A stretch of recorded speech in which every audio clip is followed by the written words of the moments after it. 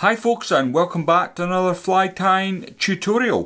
What you see in the vise again is not my fly. This was tied expertly by Peter Dunne and I'm going to read the short description he sent with the fly. This one's called the Champion, another personal pattern that I have found to be superb during hatches of BWO size 14 or 16 or a 12 on the Loughs. In smaller sizes, I have used curved hooks for better presentation. So, without further ado, let's get into it. Now, once again, I don't have the exact materials that Peter has used, so I'll use what I have.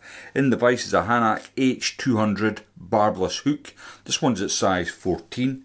It's on a heavy wire and it's finished in black nickel. Now, the thread I'm going to use is from Semperfli this is the classic watery olive at Ato.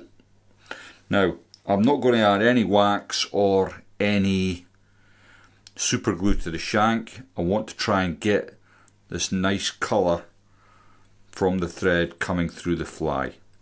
So using touching turns, I'm going to come up the shank and you can help yourself by using your rat's tail just to force them turns in. Now as I reach the end of my wraps I'm just going to remove that and put an extra couple of turns in.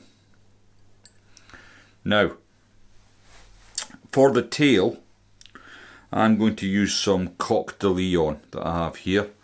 Uh, I'm not quite sure what Peter's used there but it is a very small fine fly so I'll use the Coq de Leon it's nice and thin and dress it up and I probably want about just shy off the shank of the hook.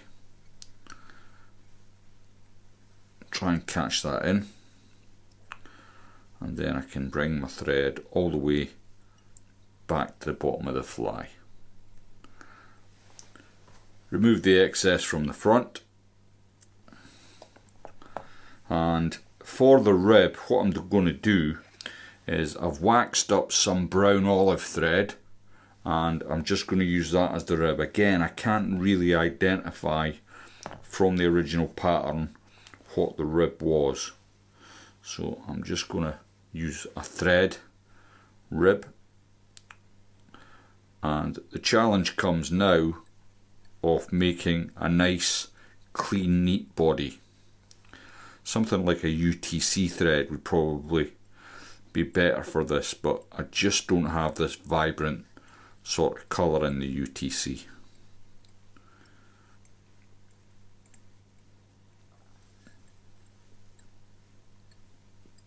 With the 6-0 it doesn't take too long to build a nice tapered body and I'll bring that up to the thorax area. Now the thread rib I can just bring around.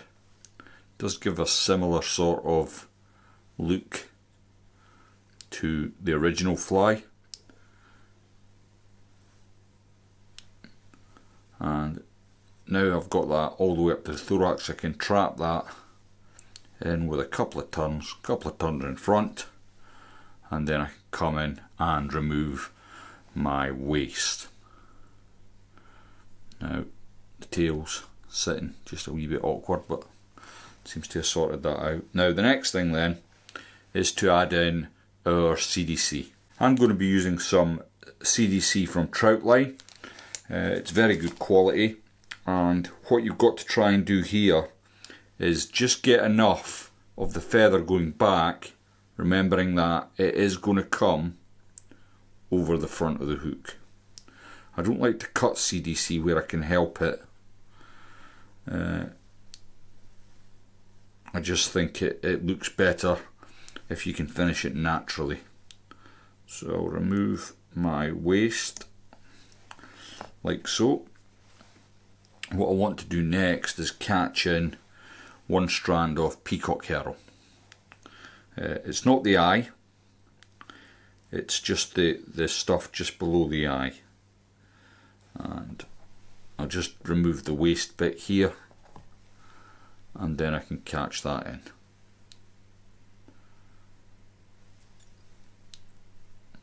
Bring it to the front and then wrap your thorax round. Now on the original one that Peter sent, this has had a, it looks to me like somebody's took a rubber to it and uh, that that's often a nice way of finishing peacock herl if you um, you don't want the the strands. Oh like so. But I'm going to leave mine as is. Now next thing then is just to grab all that pe um, sorry cul de canard the peacock herl what I've just wrapped and bring that to the front of the hook.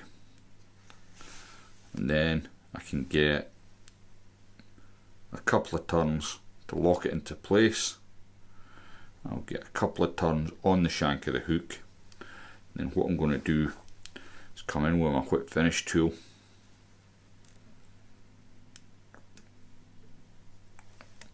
Do a three turn whip finish.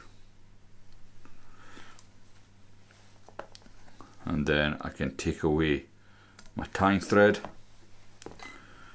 And on this occasion I'm going to have to cut the CDC just for aesthetics. And there we have the champion.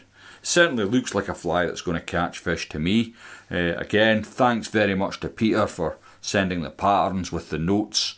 It really has uh, been an education and it shows you how far I've got to go on my own fly tying journey when I see how well tied your flies are.